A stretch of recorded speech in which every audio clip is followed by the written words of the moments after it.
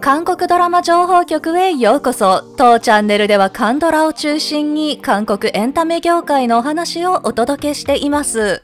11月に BS で放送が開始される韓国ドラマ。すでに動画にして出してありますが10月末のものも今になってやっと情報が出揃ったので地上波放送と合わせて追加情報をサクッとお届け。ということで本日は11月に地上波と BS で放送されるカンドラ再放送も含めて全10作を一部イメージ映像で一気に見ていきましょう。ですがその前に情報はすべて動画制作時のものであり予告なく変更延期となる場合があります。詳しくは各局のホームページでご確認ください。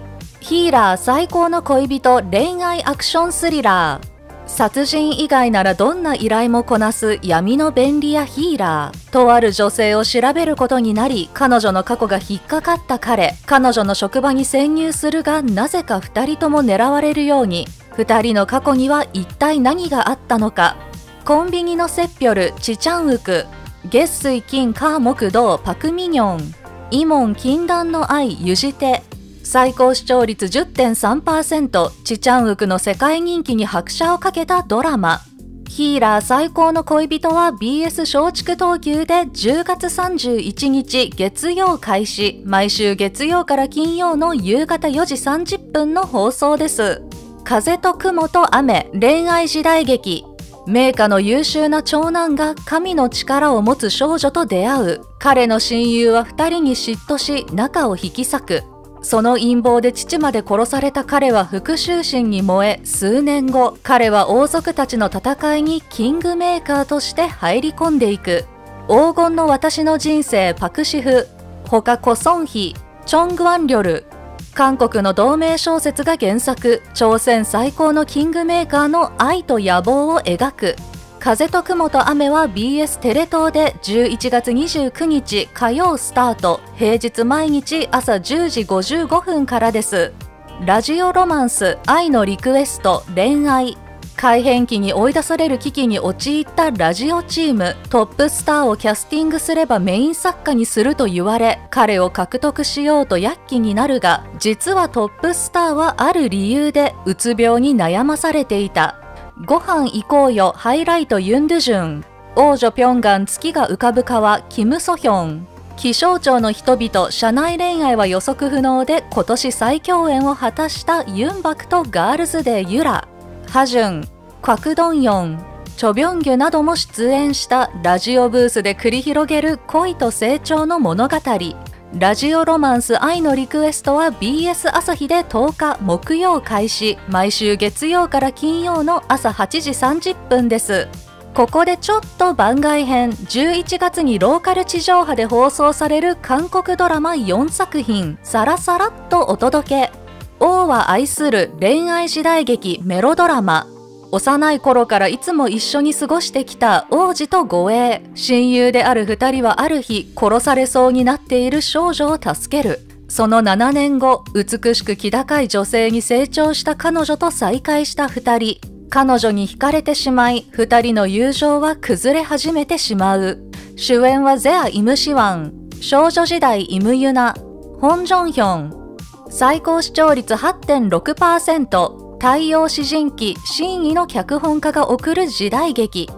王は愛するは千葉テレで1日火曜スタート。毎週月曜から金曜の朝9時30分。25日は放送休止です。債務団色の日記ファンタジー恋愛時代劇。世紀の発見と言われる絵画に偽作疑惑が持ち上がる。そんな中韓国美術史の講師は債務団の日記を偶然手にする。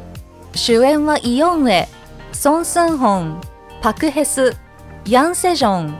最高視聴率16.3%。イヨンエが13年ぶりにドラマに復帰したことで話題となったドラマ。債務団色の日記は3テレビで24日木曜開始、平日毎日午後11時の放送です。ヨンワン様のご加護、いるいるメロドラマ。